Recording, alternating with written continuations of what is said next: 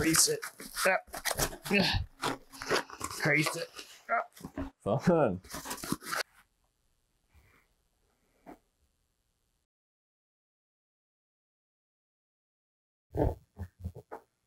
Whoa. Like, is that a fold or a crease? What's the, I mean, this is what architecture does. It always confuses you about things you thought you knew about. Or maybe it just sort of opens you up to other possibilities of what a thing can be.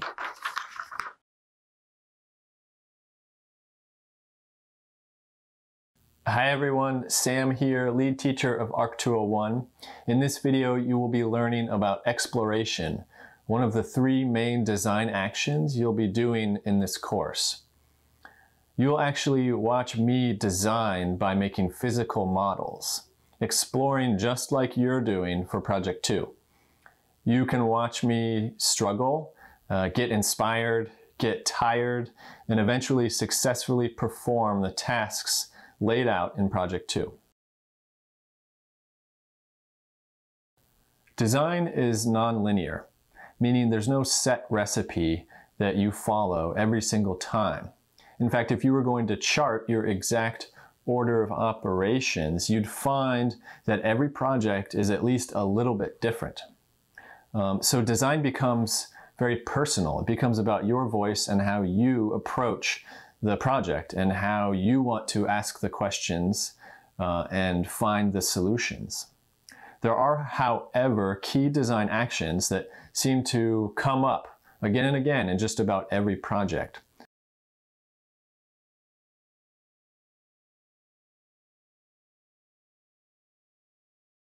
Exploration involves making lots of things. In this case, physical models. So I'm filming this after having done a bunch of exploration, um, searching far and wide for different ideas, being open to whatever comes my way as I make a model and then study it, working with some different materials, looking at things from different vantage points, and not trying to get stuck on any one style or way that it looks. Um, just exploring. So you can think of the exploration process um, kind of like a sailor would be exploring an ocean, right? Uh, you want to be looking far and wide, as far and wide as possible, and being open to what's way out there um, as you get into this process. So a sailor in the ocean, the more they, the more ocean they explore, the more they discover, right? This thing's kind of in my way. I thought this would be a neat prop, but it's kind of annoying a little bit. But it shows you all the stuff I made um, and models for you that I want you to make a lot of stuff. Look, I made a bunch of models.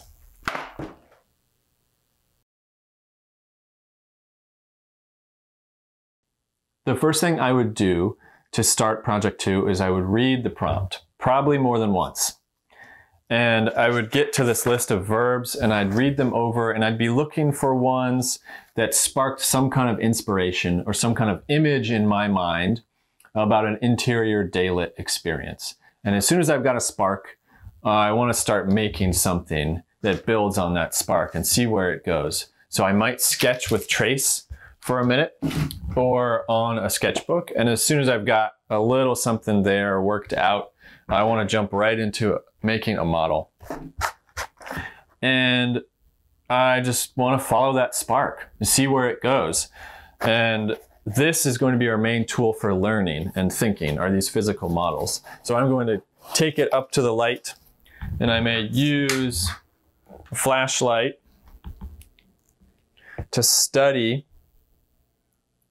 how daylight enters. So this flashlight becomes the sun.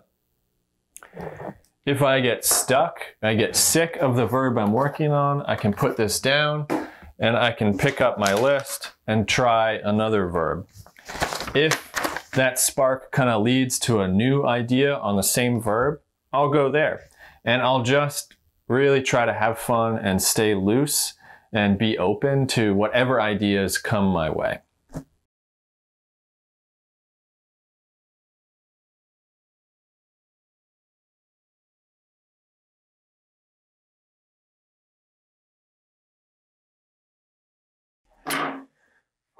So maybe, I, I mean, I've got a rectangle here. I'm just gonna crease this thing up. Crease it up.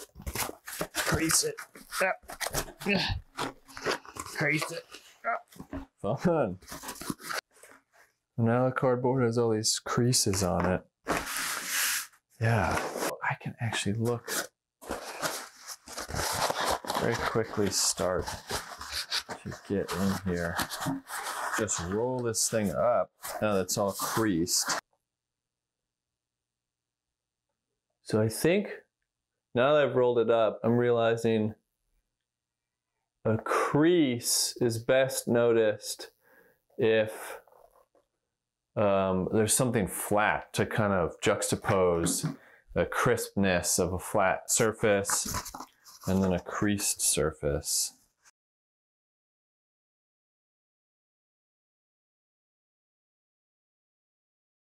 I do, I mean, this is pretty cool. It's really accentuating a lot of creases. I can just see all this light play happening on it just with the lights in the room.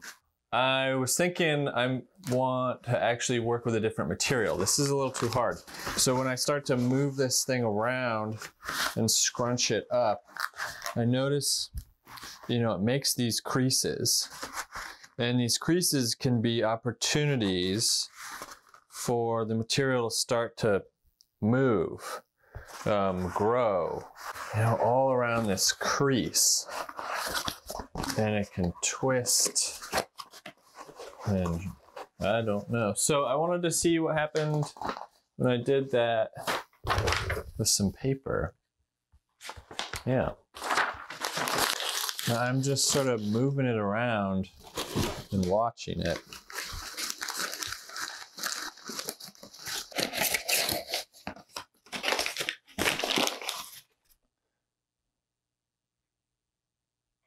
I don't know. Maybe it's too messy. Like maybe I just need to be more simple with it just to start.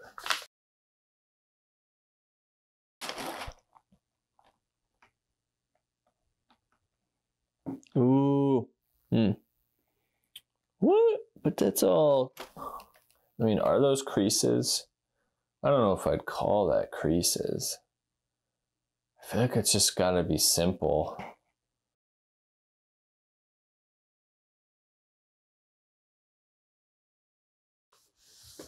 Like, is that a fold or a crease? What's the, I mean, this is what architecture does. It always confuses you about things you thought you knew about. Or maybe it just sort of opens you up to other possibilities of what a thing can be. So there, that's a crease, right? I mean, that, come on. That's a crease. That is a crease. A paper behaves so differently than cardboard.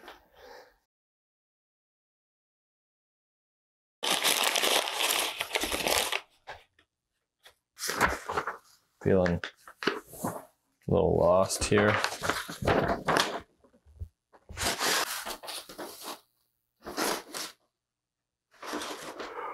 Oh, don't yawn on camera. Ooh. Struggling. This is where it is. You're in the tunnel. You're in the design process tunnel. And um, you don't know where you're going. And you barely even know where you've been.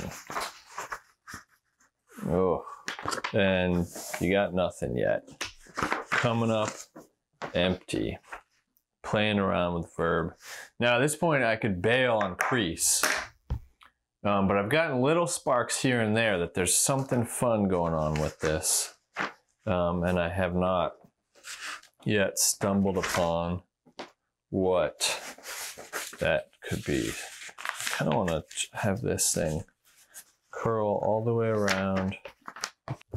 Ooh. Man, getting good ideas. Making good ideas. Just gotta sit there and do it for a while. I'm Working too big.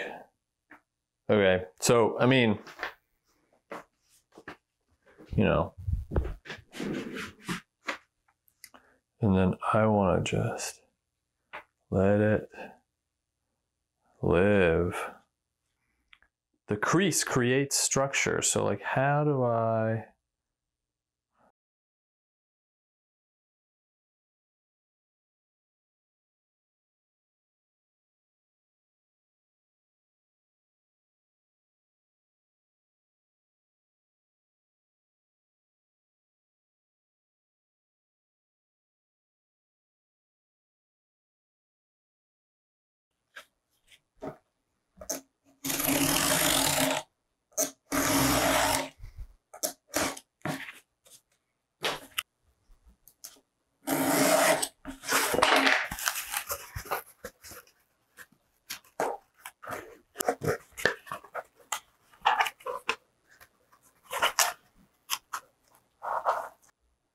So then I've got a nice crisp cube.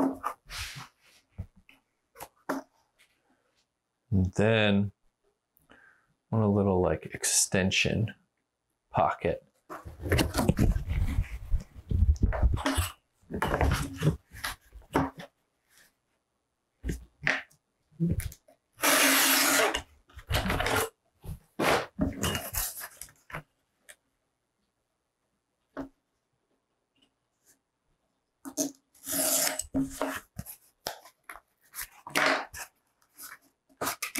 Then this can just fit into there, essentially. And light can come down through there and kind of illuminate it with various things. We'll throw a little piece of tape on there.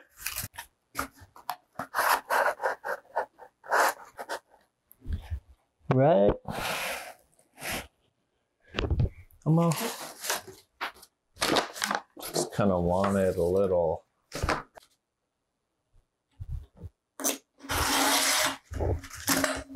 Scoop it away.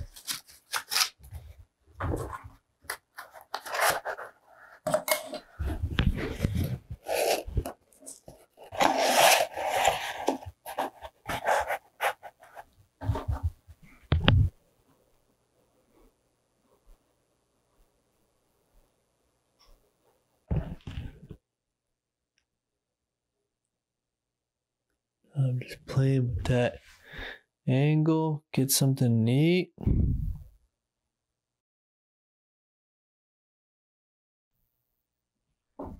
Ooh, and then that, as soon as I took that photograph, that gave me another idea. So what if this actually came down?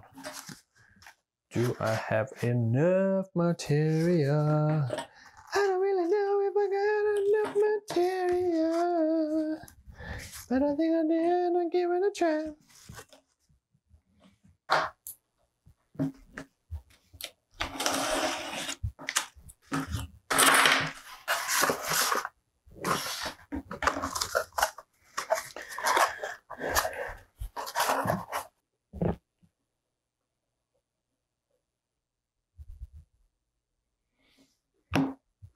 Um, so I actually want to lift it up a little bit. This whole operation, it's gonna be too much. Maybe that's good. Oh, forgot about this long piece of tape. Try to hang on to that, buddy. Okay, we'll get back at this. Okay, now I just. Hi. Oh, hi. Hey there. Oh, hey. Oh, hey. Yeah, hi. Um, hey, I noticed you're not working the way I want you to. So I was hoping we could talk sometime about that.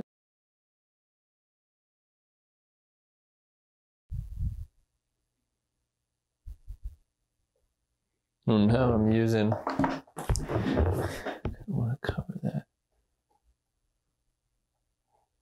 Oh yeah, cover that. And I also want to cover that. I want to cover that a bit more.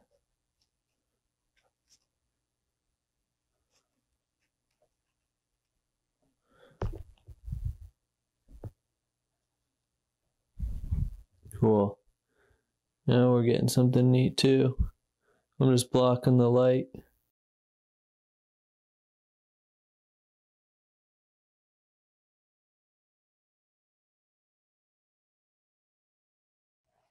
So, working on the verb to crease, I had this idea of some roof condition, overhead condition that had a crease in it that disappeared.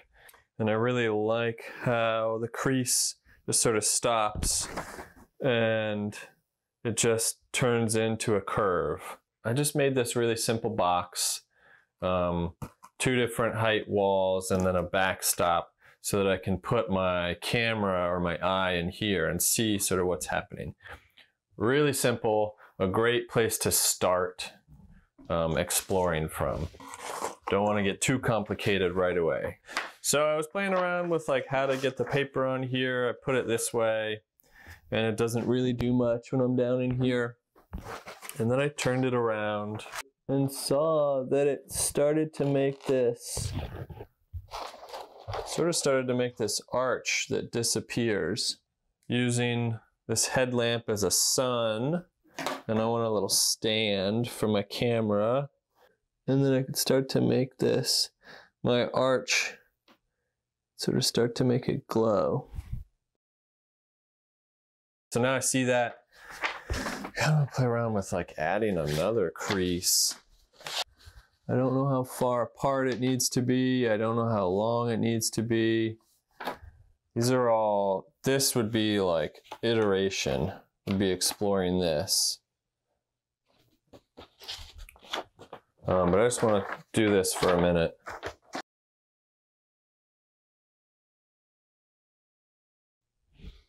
What if I just make a crease like barely anything? Just a real short one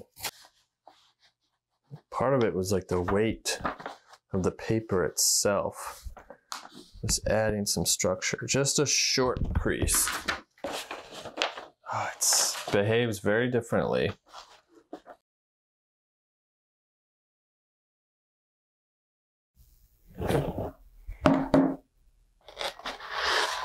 Hmm. So I could imagine doing lots of variations on this.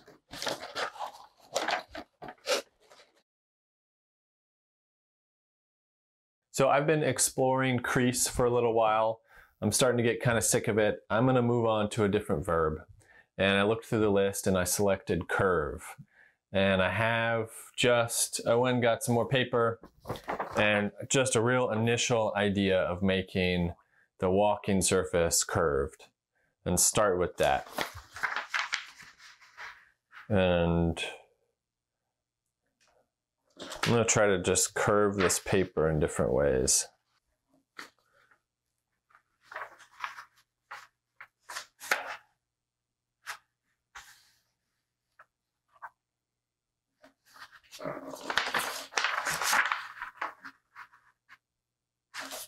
Yeah, I think I might just tape this down.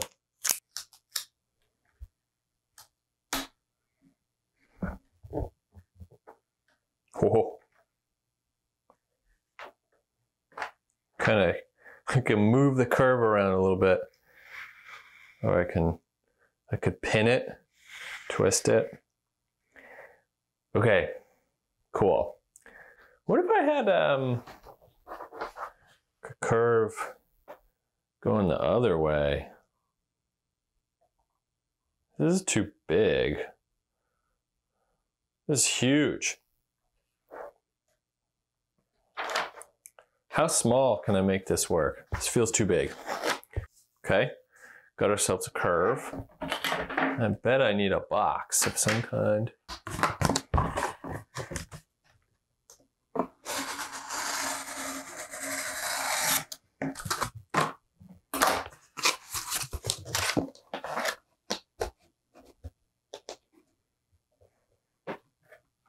The other thing is I gotta make space for my camera and my eye to get in and look. I actually think I want to see the other side. Close your pen, don't let it dry out. You're a waste of a pen.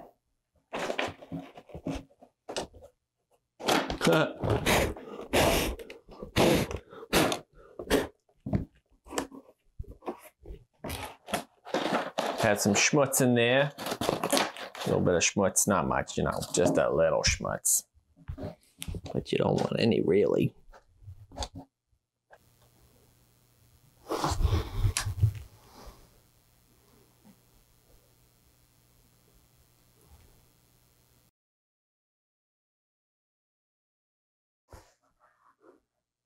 So, I'm feeling a little bit stuck. I don't know where to go next. That was a neat idea. Um, I know things need to be developed more, um, but I don't know what to do. So, I might just move ahead with the assignment. The next step would be to like take these photos, bring them into Photoshop, make them black and white, kind of punch up their contrast and take a look at what I've got, kind of explore the spatial qualities in these images and see if any new ideas come to mind. So right there, some reflection that will hopefully loop back into some more exploration. I made a bunch of models.